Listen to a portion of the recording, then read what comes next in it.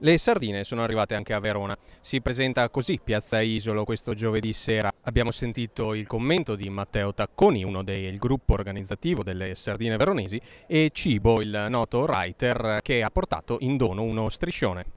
Eh, guardandoci anche attorno, abbiamo pensato che fosse sensato dare la possibilità a tutte le persone che in questo periodo vivono appunto l'entusiasmo di voler provare a pensare in un modo differente a quello a cui ci stiamo abituando, perché lo vediamo che e le dinamiche dei social e l'appiattirsi delle relazioni dal punto di vista sociale ci portano sempre verso un isolamento molto forte. Ecco, la piazza, essere in piazza oggi è l'esatto antibiotico per queste dinamiche di segregazione in fin dei conti, perché quello che accade è questo. Beh, innanzitutto sposo gli ideali perché comunque da statuto sono una persona ottimista e contro la violenza, e apartitica e di conseguenza le sardine hanno incontrato il mio statuto, i miei ideali. E per me era un dovere restituire qualcosa, so disegnare, gli ho fatto lo striscione.